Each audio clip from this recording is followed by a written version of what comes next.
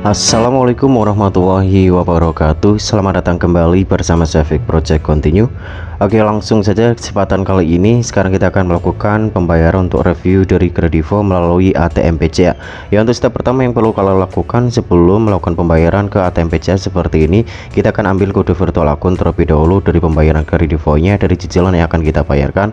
Selain kalian tinggal masuk ke dalam aplikasi Kredivo nya dan sampai di sini. Bisa kalian pilih terlebih dahulu ke bagian menu transaksi seperti ini ya Dan pilih salah satu pinjaman cicilan yang kalian bayarkan. Ya kita akan pilih salah satu pembayaran dari Kredivo kemudian klik tekan bayar di atas. Oke kita akan melakukan pembayaran di paling atas ya di sini. Ya oke. Kita akan pilih di paling atas. Kita akan terlebih dulu menggunakan PCA ya di atas metode pembayarannya menggunakan PCA ya ke PCA kemudian di sini pilih salah satu pinjamannya di paling atas. Ya kita akan melakukan pembayaran di paling atas saja. Dengan jumlah totalnya di sini ada 99.950 ya. Oke teman bisa lihat di sini 99.950 rupiah.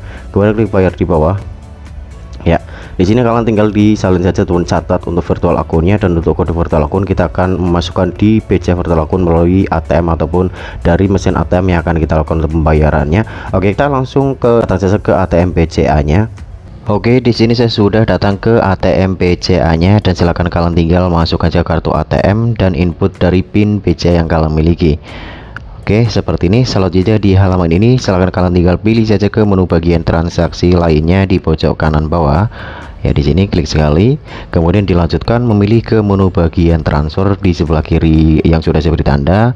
Ya seperti ini. Kemudian dilanjutkan kembali memilih ke menu uh, rekening PCA virtual akun ya di bagian sini yang sudah saya beri tanda juga.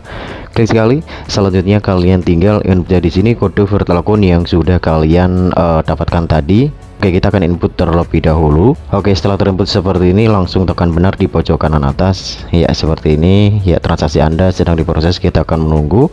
Konfirmasi selanjutnya dan di sini sudah terlihat untuk nomor virtual akunnya dan nama pengguna. Ini uh, disusulkan ya ini nama penggunanya saya sendiri benar sekali. Dan jumlah tagihan di sini benar sekali ada 99.950 silahkan masukkan jumlah transaksi transfer di bawah. Kita inputkan ulang ya 99.950 rupiah.